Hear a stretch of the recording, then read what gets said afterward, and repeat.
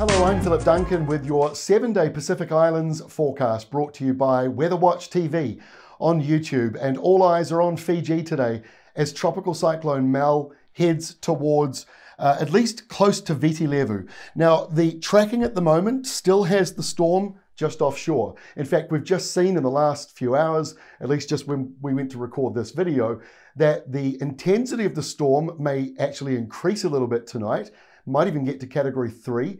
However, it's likely to be a little bit further west of the main island, which is some good news. Now, the colouring on this map today is the misery index. The reason why we have that up, that's its technical name, by the way, um, the misery index, it shows in red 30 degrees plus. And so this is a lot of humidity coming down from the tropics, mixing with the slightly cooler air flows further to the south. So this is going to get wetter and windier over the next wee while, but the worst of the winds are just in this area here, not so much further out, uh, although it can be blustery with gales in that zone.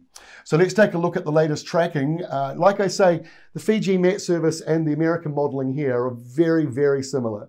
The only slight difference is the American modeling says category three by tonight when the storm comes in. Uh, the Fiji Met Service at the time of recording this was saying category two, but that could still change.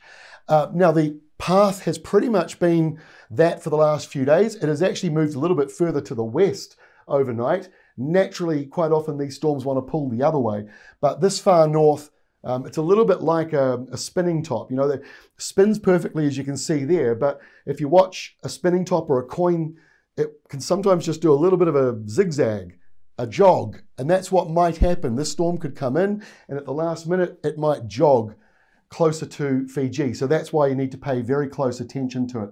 So this is how we look this afternoon, three o'clock Fiji time, 4 p.m. for New Zealand, and not too bad for now across Fiji. It'll just be the usual showers, and you'll notice that more humid northeasterly winds starting to develop. Now, by three o'clock tomorrow morning, this is when we expect the storm to most likely be at its strongest point. Now, that could still move around half a day or so, but just generally that's what we think. The air pressure may, may also go lower than what you see just there. But the current thinking, a little bit unusual to see all the heavy rain on the western side. Usually it's out here on the southeastern side. So that's a little bit of good news for Fiji. But for now, at least based on this modelling, it shows the worst of the weather offshore from Nadi, which is some good news. Very close though.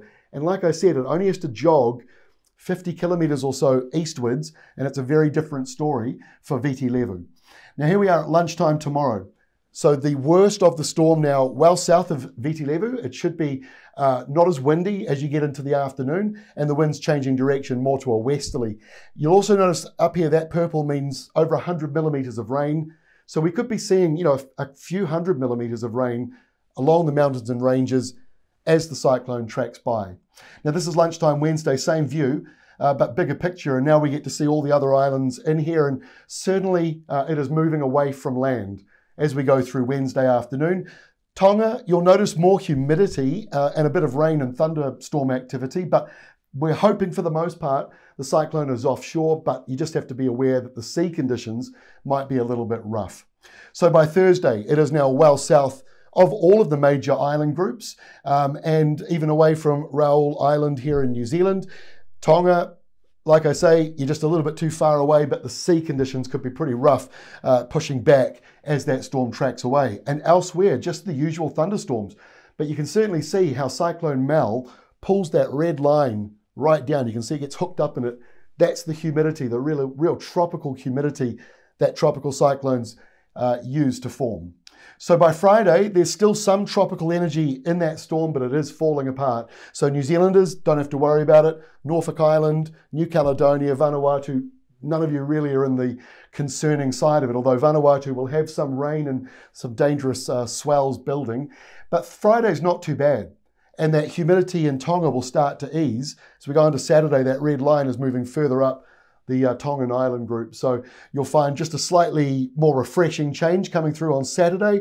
Not too bad across Rarotonga. You got a few showers in the mix and out towards Tahiti. Not too bad as well. And it stays that way on Sunday. In fact, pretty quiet right across the group. Norfolk Island, You'll be noticing that southerly, so might Noumea, as that uh, slight southerly change comes in around the big high pressure zone.